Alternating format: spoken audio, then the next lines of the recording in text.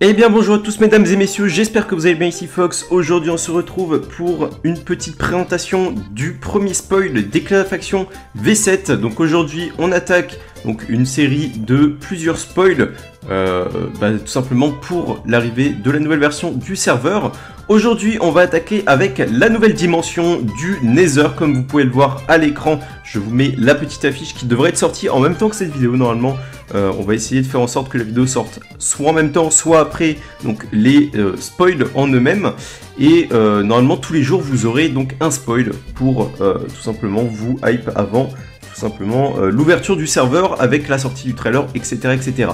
Bref, j'espère que ça vous plaira. N'hésitez pas à lâcher un petit pouce bleu si la vidéo vous plaît et n'hésitez pas à vous abonner pour suivre les prochains spoils et les prochaines vidéos. Sur ce, on est parti directement. Alors les gars, on a de quoi faire. Comme vous pouvez le voir, on est directement arrivé dans la dimension Nether. Donc je vais vous la montrer en détail, vous expliquer à quoi elle va servir, quelle est la différence entre le Nether et l'End, etc. Vous allez tout comprendre. Donc premièrement, quand vous arrivez ici, vous avez plein de euh, petites informations. Premièrement, vous avez le fossoyeur juste ici, que vous pouvez parler en faisant un clic droit. Euh, il va vous échanger en fait des caisses infernales contre des Nether Stars. Donc on verra après comment on obtient des Nether Stars. Et on verra ensuite à quoi servent les caisses infernales. Vous allez voir, c'est vraiment ultra important, surtout pour le PVP. Maintenant, vous avez ici des informations. Donc vous avez euh, la perte de power qui est désactivée dans ce monde. Et vous pouvez consulter la liste des events. Donc en faisant slash events, vous avez euh, tous les events relatifs donc, au serveur, donc vous pouvez voir, tac tac tac. Et en fait, dans euh, ce monde-là, vous allez avoir l'event Outpost qui est donc aux coordonnées 8-5 et euh, la sortie en 235-182. Et bien sûr, si vous mourrez dans le vide, vous perdez votre stuff. Donc je vais vous montrer un petit peu plus en détail. Hop, on va se mettre un petit peu de speed pour vous montrer tout ça. Et donc, premièrement, vous pouvez voir que la map est assez plate. Il y a des petits trucs comme ça un peu partout qu'on va aller voir juste après. Et surtout, c'est designé un peu comme un end. Alors, il y a moins de vide que dans l'end et surtout, c'est fait, un petit peu différemment. C'est des sortes de failles.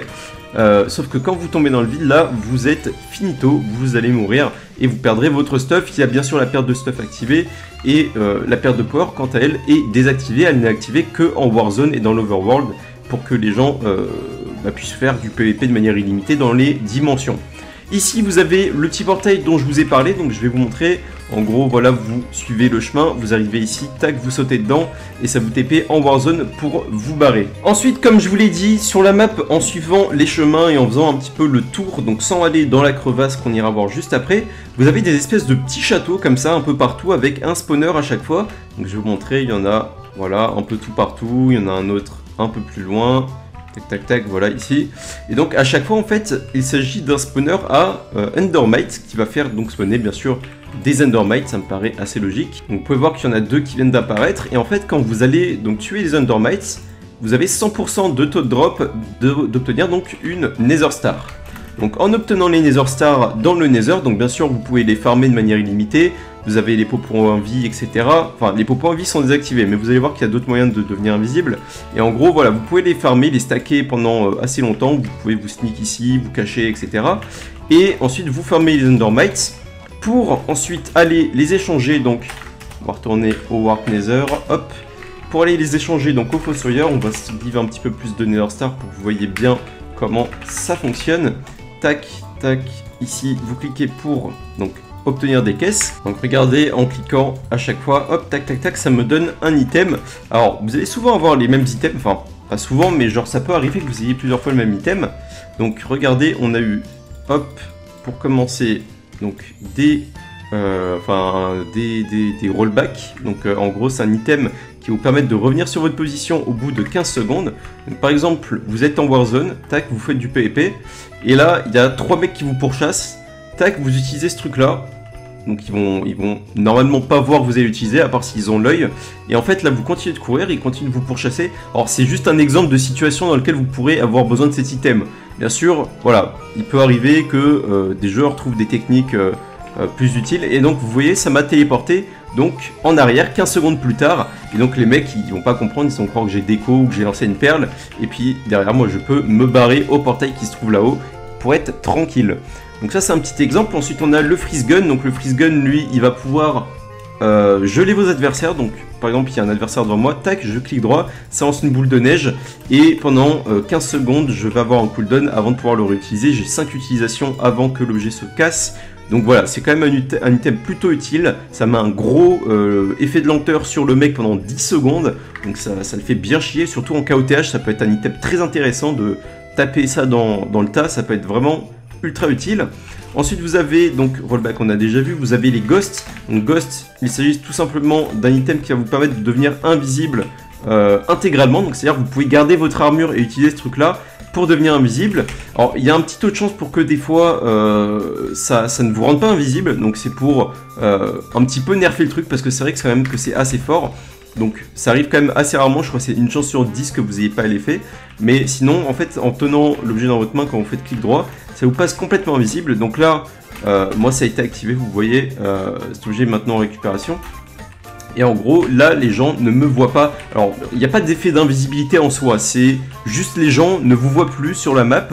Euh, mais ils peuvent quand même vous taper. Et s'ils vous tapent, vous redevenez visible. Donc voilà, c'est la petite différence avec une potion euh, d'invisibilité classique. Là, c'est pas un effet, d'invisibilité, c'est juste vous disparaissez. Et euh, en plus de ça, si vous prenez des dégâts, vous réapparaissez. Donc c'est assez sympa. Et bien sûr, ça dure pas 15 heures. Je crois que c'est pendant quelques secondes. Euh, ça doit être quelque chose comme, euh, comme 60 secondes où vous devenez invisible. J'ai plus les durées exactes, je vous redirai ça plus tard. Mais euh, en tout cas, voilà. Vous avez également le compteur à potions, le bâton de TP, donc bâton de TP très classique. Ça vous téléporte à la position de votre dernier adversaire. Donc par exemple, vous tombez dans une trappe, quelqu'un vous tape, vous l'utilisez, ça vous TP à cette personne. Euh, si vous, euh, vous prenez une flèche d'un mec qui se trouve, admettons, là-haut, vous utilisez le bâton, et ça vous TP dessus. Enfin bref, le bâton de TP, c'est pas juste un bâton de TP classique qui va vous téléporter à l'ennemi le plus proche dans un rayon de quelques blocs. Ça va vous TP à la personne qui vous a tapé pour la dernière fois. Donc c'est un, bâton de TP un peu spécial, mais ça fait le taf et euh, bien sûr c'est pas trop OP parce qu'il y a quand même un rayon d'activation, c'est quelque chose comme 10-12 blocs, je sais plus exactement, peut-être même 15, je sais plus, faudrait vérifier ça. En tout cas, on a fait en sorte que ça soit pas trop abusé et surtout que ça apporte un petit euh, côté euh, plus sympathique que euh, simplement TP un genre proche de vous.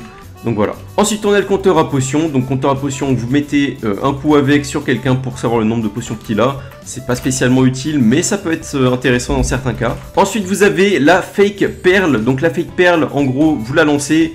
Le mec, il va lancer sa perle pour vous poursuivre et en fait, bah non, cette perle ne vous téléporte pas. Et enfin, vous avez le fake logger. Donc ça, en gros, c'est un truc un peu spécial. Faut voir dans quel cas on peut l'utiliser. Par exemple, hop, il y a quelqu'un qui vous pourchasse ou alors vous êtes dans un KOTH ou je sais pas trop quoi. Vous l'utilisez vous passez invisible, là en fait, encore une fois, on n'a pas d'effet d'invisibilité, mais vous êtes bien visible, et en fait, la personne va voir votre PNJ là-haut, il va croire que euh, vous avez déconnecté, ou alors que vous avez laissé euh, un PNJ, je sais pas, et en fait, vous, vous êtes invisible, donc vous pouvez vous barrer, et le mec va essayer de tabasser le PNJ, mais ça va ne servir absolument à rien. Donc voilà. Il y a des items qui sont très bien, il y en a qui sont un peu moins utiles, celui avec le PNJ est un peu moins utile, celui du compteur à potions est un peu moins utile, mais voilà, vous avez pas mal d'items, au total je crois qu'il y en a 6 ou 7 à découvrir, et au fur et à mesure du serveur, on en rajoutera des nouveaux pour que vous ayez du nouveau contenu régulièrement. Dernière nouveauté pour le monde du Nether, donc vous allez sauter directement en Warzone, donc je vous ai montré l'espace avec les petits chemins, je vous ai montré le vide, je vous ai montré le portail, je vous ai présenté qu'il n'y avait pas de perte de power, je vous ai montré les nouveaux items grâce aux caisses infernales, euh, le farm des silverfish, etc. Maintenant, on va voir le nouvel event de la dimension Nether. Alors, il est possible qu'il y ait des nouveaux events qui arrivent par la suite, évidemment, mais pour l'instant, on a un seul event dans le Nether qui est donc l'event Outpost qui n'était pas là dans les anciennes versions. Donc en gros, l'Outpost c'est très simple, vous mettez dans la zone à capturer qui est ici, et en fait en la capturant, vous allez euh, tout simplement obtenir un buff. Donc ce buff c'est très simple, déjà on doit faire f create, euh, on va créer un nom de faction random, on va s'appeler test, tac, on capture la zone, vous voyez qu'on a une petite barre. Capture Outpost, et là en fait l'Outpost est déjà contrôlé par quelqu'un, c'est pour ça que j'ai besoin de le reprendre euh, de reprendre le territoire. Donc vous voyez que c'est la faction Z euh, qui contrôle actuellement l'outpost. Donc le, cerveau est en bêta, c'est pour ça qu'il y a une faction qui contrôle le truc. Euh, il est capturé à 96,5% par Z. Et moi là je fais baisser le pourcentage puisque je suis en train de reprendre la possession de l'outpost. Il est actuellement sous attaque. Il est contrôlé par la Z, attaqué par ma faction donc test. Et une fois que vous avez capturé donc ce point, vous obtenez 3000 dollars par minute pour le leader et un point euh, PVP toutes les 30 minutes. Donc c'est-à-dire que euh, dans le classement slash classement, vous allez gagner en fait des points. Euh, classement PVP. Vous avez gagné des points, donc vous voyez que l'Asie a 288 points parce que ça fait plusieurs jours qu'elle a le monopole sur ses outposts. Et l'outpost ne s'arrête jamais, c'est un event permanent qui est très intéressant du coup pour jouer le classement parce que si vous possédez cet outpost très longtemps, vous allez prendre un avantage considérable dans le classement PVP et ça pour gagner des tokens, c'est vraiment très utile. Donc voilà, si vous avez des questions, n'hésitez surtout pas à les poser, je me ferai un plaisir d'y répondre en commentaire ou sur le Discord d'Eclasia qui se trouve en description. Si vous avez des recommandations à faire, n'hésitez encore une fois pas à les faire. Euh, la bêta est encore ouverte actuellement et le sera encore pendant au moins euh, une bonne semaine. Donc voilà, il y a de quoi faire. Et donc n'hésitez surtout pas à nous partager euh, ce, que vous avez, ce que vous avez derrière la tête si vous avez des, des recommandations à faire. Voilà, ça serait top. Sur ce, on se dit peut-être à demain ou à très bientôt pour une nouvelle annonce euh, de nouveautés, un nouveau spoil. Alors il n'y aura pas une vidéo spoil à chaque fois euh, qui est une affiche parce que euh, voilà, je sais qu'il y a des choses que j'ai déjà présentées dans d'autres vidéos, etc. Donc voilà, ça sert à rien de refaire une vidéo à chaque fois. Et pour les grosses fonctionnalités comme celle du Nether, je me dois de faire une vidéo pour qu'au moins les gens voient les nouveautés du serveur pour cette nouvelle saison. Sur ce, on se dit à très bientôt pour une nouvelle vidéo. C'était Fox, merci à tous d'avoir suivi. Et sur ce, je souhaite tout le monde.